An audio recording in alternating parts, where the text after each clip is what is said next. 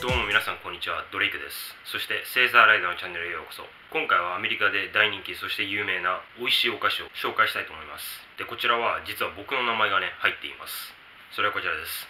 Drake's Cherry Fruit Pies の紹介です。自分の名前ドレイクスが入っていますね。ドレイクスって書いてあります。ドレイクのチェリーフルーツパイって書いてありますね。僕の名前が入っていますけどこちらとはね僕は全く関係などありませんね。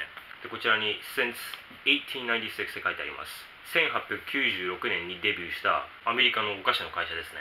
ニューマン・イー・ドレイクっていう方が作った会社なんですね。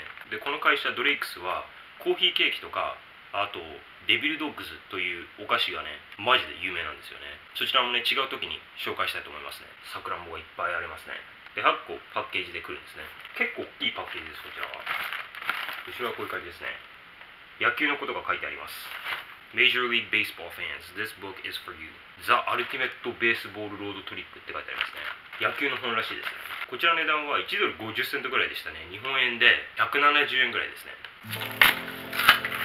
こういう感じでいきます。でこちらはナチュラルと人工的な味が入っていますね。このパッケージマジでいいですね。なんか興奮します。ね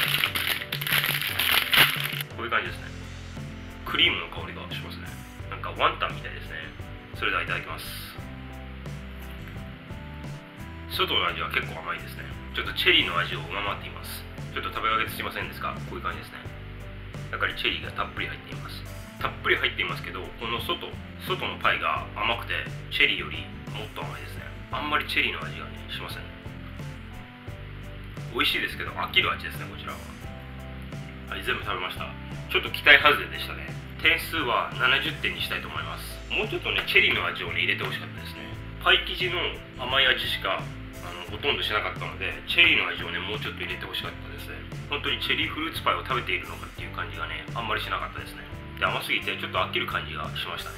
僕だったらパイ生地を少し甘くしてもうちょっとこの中身ですね。中身のさくらんぼの味をもっと上げればいいと思いますね。そしたら100点満点になっていました。こちらはまあ美味しかったですけどまた買いたいお菓子ではね。ないです。すごく美味しそうに見えたので買って結構期待してたんですけどすごく期待外れでしたね。こちらはおすすめしませんですけどえもし見て気になったら食べてみてください。